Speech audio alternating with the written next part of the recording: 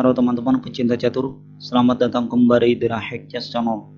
Kali ini saya akan bagikan sebuah partai antara Fred Avals melawan Lang pada tahun 1956 di New Zealand yang dimulai dengan E4 dibalas E6 Prince Defense. D4 D5 tantang pion. Seperti biasa pion terus ke E5 C5 C3 kuda C6, kuda F3, menteri B6, perebutan keunggulan petak D4. Di situasi ini putih melangkahkan gajahnya ke D3. Pion kali D4, pion makan. Di sini hitam tidak langsung makan pion D4 untuk keunggulan pion, tapi gajah D7. Karena jika di sini kuda makan pion, kuda makan kuda, jika menteri makan kuda, maka gajah berima. Skak dan Bukaster. Di sini hitam akan kehilangan menterinya.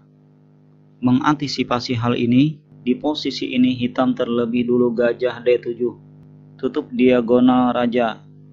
Setelah putih rokade, baru hitam percaya diri makan pion D4. Kuda makan kuda, menteri makan. Ancam pion putih kuda C3 membiarkan pionnya dimakan. Benteng E1 ancam menteri dan tekan laju raja. Menteri mundur ke D6. Ya, kalau kita cermati, dari tadi hitam terus sibuk menggerakkan menterinya, sedang putih sibuk menyiapkan keaktifan perwira dan fokus serangan. Dan di sini, putih memulai aksinya dengan kuda B5 ancam menteri. Gajah makan, gajah makan gajah. Skak. Raja D8, gajah E3.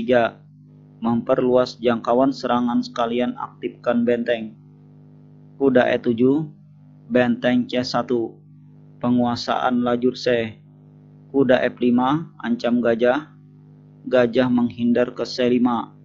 Sekalian serang menteri menteri F4, G3, terus serang menteri. Menteri pindah ke G5.